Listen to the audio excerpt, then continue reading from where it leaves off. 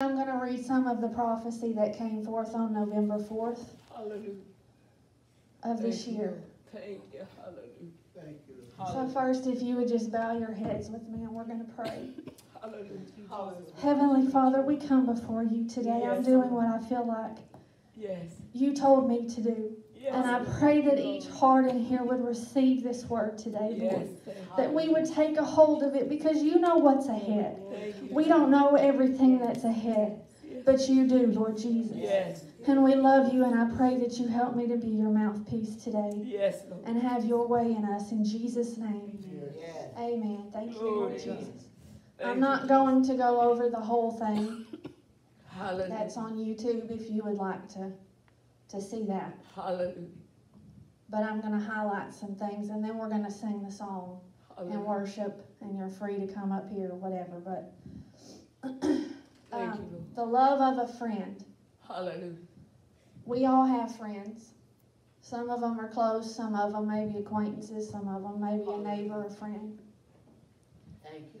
But he's not just any friend. Right.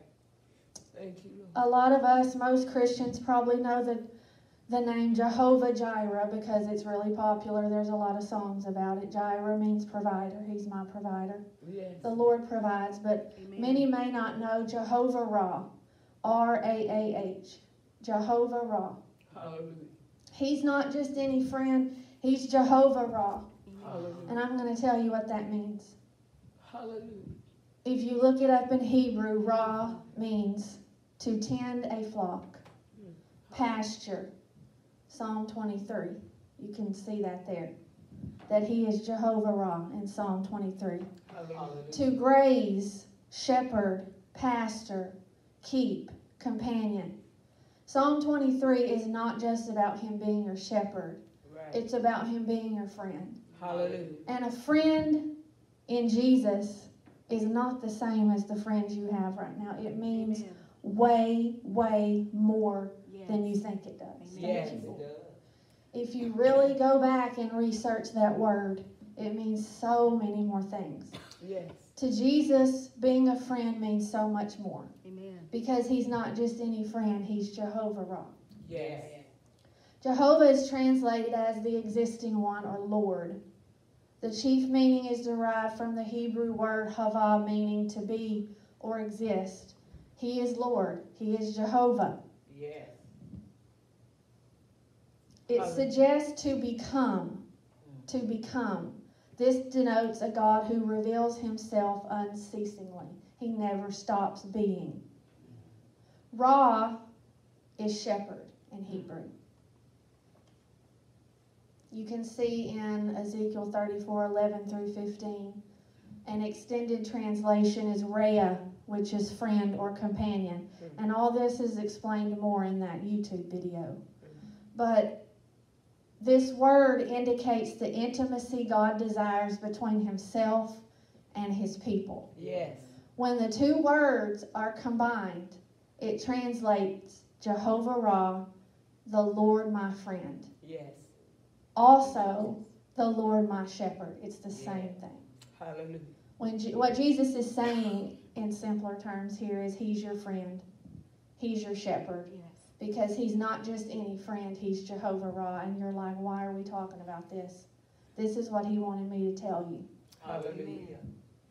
Proverbs 18:24 A man that has friends must show himself friendly and there is a friend that sticks closer than a brother. Yes. See, he's devoted to his friends. Yes. He's not going to bail on you when you need somebody and everything's going down. You know, some people bail on you. Right. Proverbs 17:17 A friend loves at all times and a brother is born for adversity. He loves his friends. Mm-hmm. He's devoted to his friends. He has called you a friend. Yes. Yes. The Son of God has called you a friend. Yes. Proverbs 27 talks about ointment and perfume rejoice the heart, the sweetness of a man's friend by hearty counsel. He counsels his friends, he's close to his friends. Yes. Luke 11 and 8 I say unto you, though he will not rise and give him, this is when the man was coming, beating on the door, I need something. Somebody, somebody's here. I think he needed food or bread or something. And It says he's not going to give up because he is his friend, but because of his Im- importunity, he will rise and give him. Yes. He hears you. Yes. He hears you. Yes. He sees you. Yes. He's listening to you. Yes. He's not just any friend, he's Jehovah Ra. Thank Yes. you, Jesus. Yes. Thank you, Jesus. James 2:23 The scripture was fulfilled which said Abraham believed God and it was imputed unto him for righteousness and he was called the friend of God. Do you believe God? Yes. You are his friend Yes. Thank you, Jesus. and you have the best friend we could ever have. Amen. He Amen. says you're my friend if you obey my commands. Yes. In the strongest sense of the word, a friend is closer than a brother. That's Yes. loyalty. Yes. Yes. Peter said he was willing to die for Jesus. Uh huh. How about you? Hallelujah. Thank you, Jesus. It's easy to say. Amen. That's right. It was easy to say Yes. Yes. when everything was going good. Yes. I noticed studying this that Judas and Peter had something in common besides being a disciple, Mm-hmm. besides being Jewish and being Jesus' disciple or whatever. He, they had one more thing in common. In common, Judas, the betrayer of Jesus, and Peter, whose name will be on the foundation of the New Jerusalem. What more could they have in common? Hmm. Regret. Mm-hmm. During the heartbreak of realizing you forsook and denied your closest, most precious friend, the Bible says Peter cried bitterly. And that's because he's not just any friend, he's Jehovah Ra. Yeah. Yes. Thank I'm going to teach you a Hebrew word. We Americans like to pronounce it chesed because we don't know how to use our tongue to do stuff other languages do. C H E S E D. It reads chesed, but that's not how you pronounce it. Amen. They say you have to pretend there's a little tickle in the back of your throat. Chesed. Like you're coughing or something. Or your throat itches.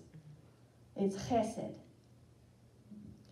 They say there is no word in the English language that can translate this concept. Hmm.